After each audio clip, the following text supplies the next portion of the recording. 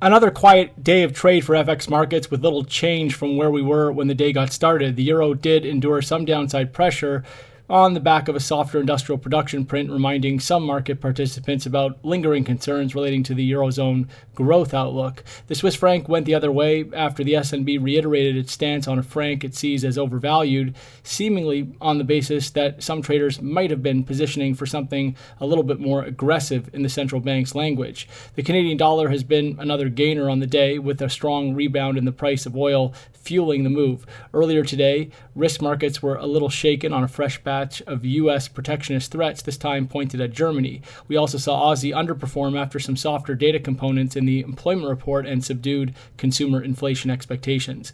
That's all for now.